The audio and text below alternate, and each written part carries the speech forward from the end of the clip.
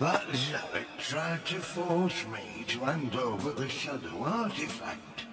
He means to release the demons from their tomb under the enchanted forest. But I said to him, I said, you can't touch me, you lanky windbag. I'm the Mer. Ah, Aye, that told him. But then he had me locked up in here with all these nutters. Oh, it's been terrible. I haven't managed to get a word of sense out of anyone in weeks.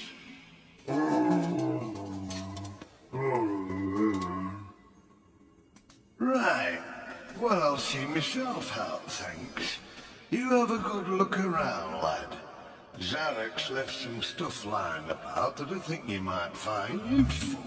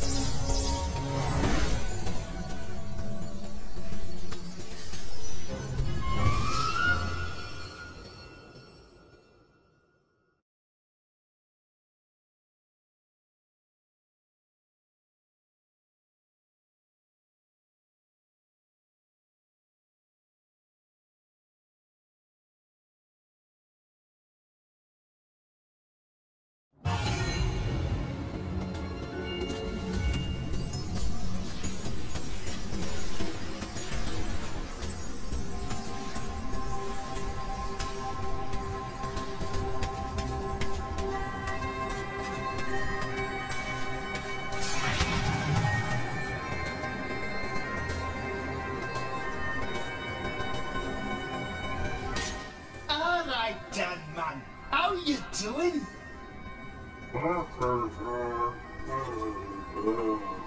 Now then, have you got yourself a magic sword?